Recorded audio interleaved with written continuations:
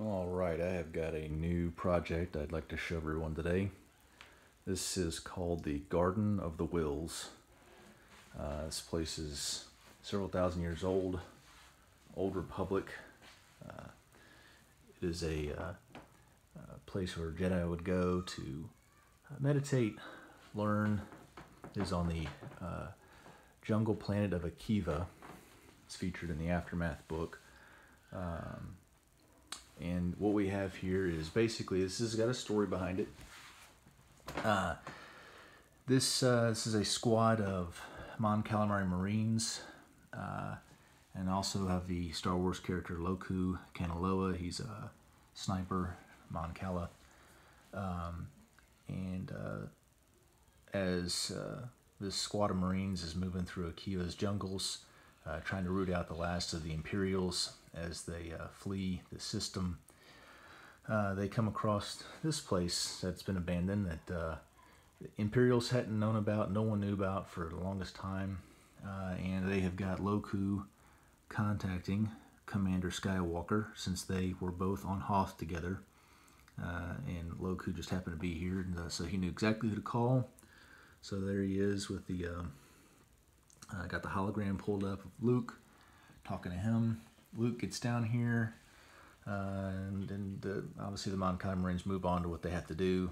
Uh, Luke walks in. You can see uh, this place at one time had uh, was was a little bit larger.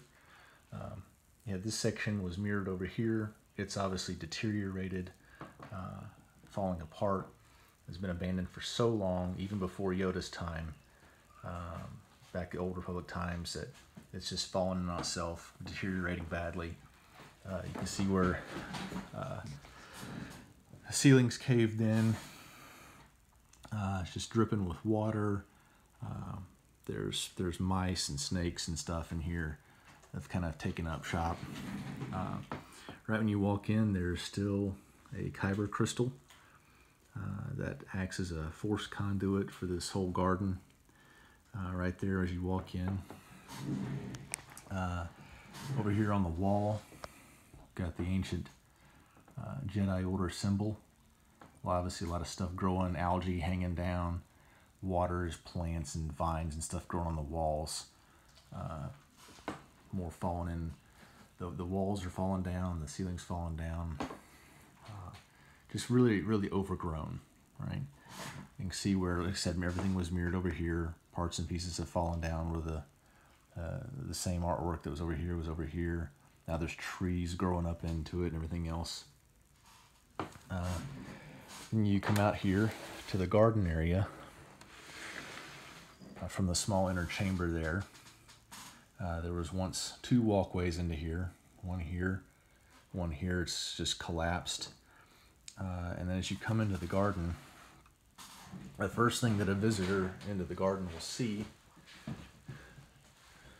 where some of the trees are still there. Some some ancient trees have fallen and given way to new growth.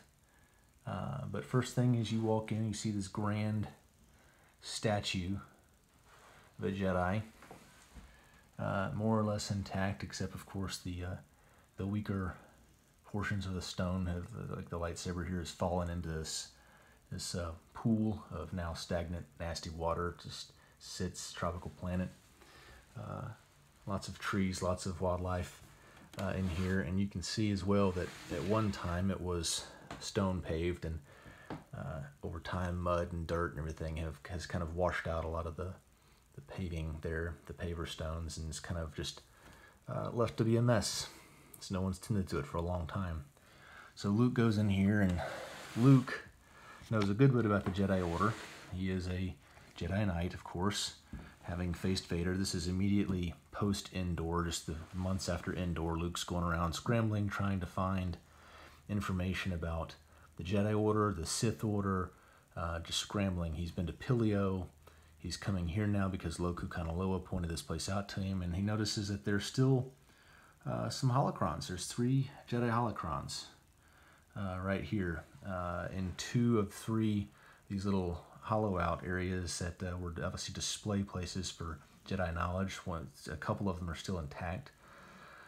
Uh, and as he's there, he's wondering, holocrons, you know, what do I do with this? What is this? And he, uh, all of a sudden, Yoda appears to help him with that because Yoda and Luke never really talked about holocrons. Yoda obviously didn't have any on Dagobah, uh, and that wasn't, uh, they didn't have time to fit that into Luke's training, of course, before he uh, ran off and during Empire Strikes Back to go meet Vader, and then obviously he comes back to visit him in Return of the Jedi, and Yoda passes into the Force, of course, so there wasn't much time to talk about it. But Yoda obviously comes back periodically and talks to Luke throughout his life and uh, helps him to try to rebuild the Order. So here's Yoda, Force Ghost Yoda, uh, appearing to Luke, explaining holocrons to him and what they mean. And Luke asks, "What is this place?" and Yoda is able to tell him it's the Garden of the Whills, but that he never went there and that it had been lost to the Jedi.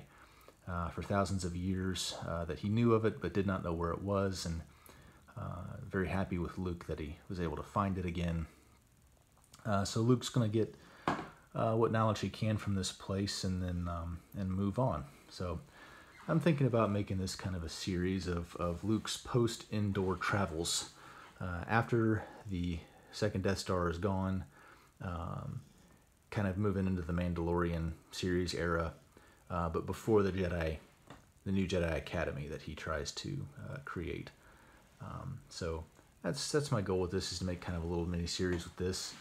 Um, so let me know what you think. Uh, spent a couple weeks designing and building this. I just I really like the the subtropical tropical feel, the, the idea of an abandoned garden. I love the the notion of Jedi statues like we had in on Jedha and Rogue One. I just, I just love that the the the mysticism and the um, the power that the Jedi Order had at one point, and now it comes down to just Luke. Obviously, you've got Ahsoka still running around, but she doesn't call herself a Jedi at this point. Um, you got a few others, but Luke's basically it. He's the Jedi Grandmaster at this point, and he's on his own. Uh, so, Yoda, him, Lor San Tekka, and uh, whoever else he can get uh, on his team as he moves along here, we'll investigate that. But uh, let me know what you think about this. Uh, the beach, the entrance here, the plants. Uh, I tried to add some, some detail. The water dropping here, splashing onto the floor, the, the ruins, the rubble, the garden. I really spent a lot of time on the garden with the plants. I just, I don't know what Lego, Lego plants are just the best. I just, they're able to really bring a piece to life. I, when I built just the structure itself, it was very, very bland. But after I added the, the ivy, the moss, the, the ferns and plants and, and bushes and shrubbery and stuff, it just really, really came to life. Really came to life. Well, this has been a very exciting MOC to build. Um, hope you appreciate seeing it as much as I appreciated creating it. Thank you.